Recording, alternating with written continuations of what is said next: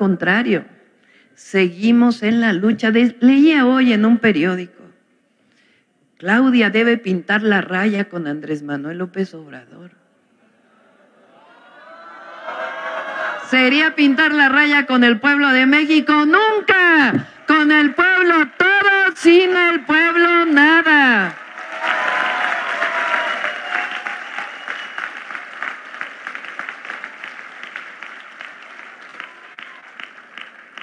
Fíjense cómo celebró el presidente el primero de julio del 2024, recordando el primero de julio del 2018 con este fondo de pensiones para los trabajadores y trabajadoras.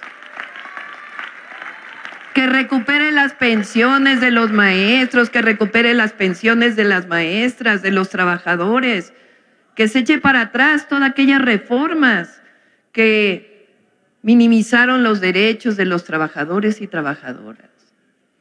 Por eso, somos uno, compañeros, somos una.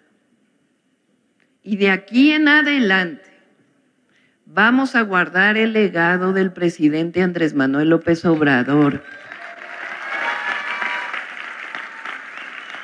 Todavía tiene él casi tres meses para seguir trabajando.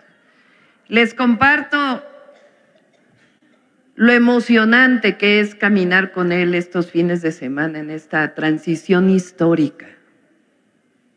No solamente todo lo que se ha hecho, lo que se muestra y la continuidad de mucho del trabajo, sino la posibilidad de seguir conversando lo que ha significado la historia de nuestro movimiento.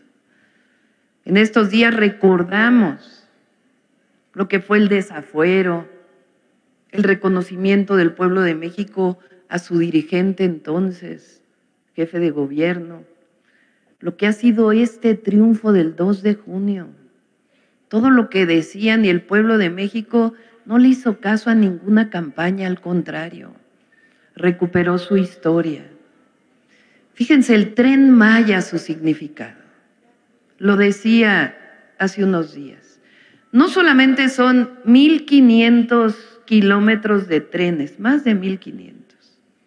Ustedes saben que en España se construyeron en más de 30 años 4.000 kilómetros de vías férreas. Aquí en solo cuatro años en realidad se construyeron 1.500 kilómetros. ¿Saben cuántos queremos construir los próximos seis años? 3.000 kilómetros de vías férreas. Vamos por el doble.